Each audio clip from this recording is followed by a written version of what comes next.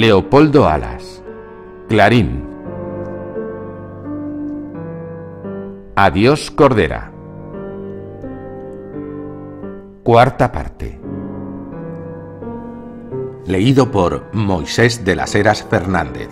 Blog literario Lluvia en el Mar.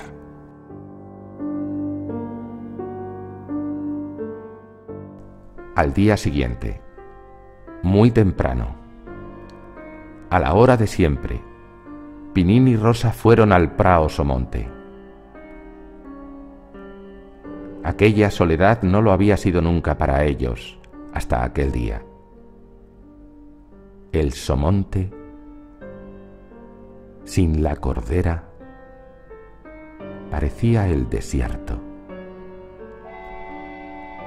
De repente silbó la máquina, apareció el humo, luego el tren. En un furgón cerrado, en unas estrechas ventanas altas o respiraderos, vislumbraron los hermanos gemelos cabezas de vacas que pasmadas miraban por aquellos tragaluces. Adiós, Cordera, gritó Rosa, adivinando allí a su amiga, a la vaca abuela. Adiós, Cordera, vociferó Pinín con la misma fe, enseñando los puños al tren que volaba camino de Castilla. Y llorando, repetía el rapaz más enterado que su hermana de las picardías del mundo.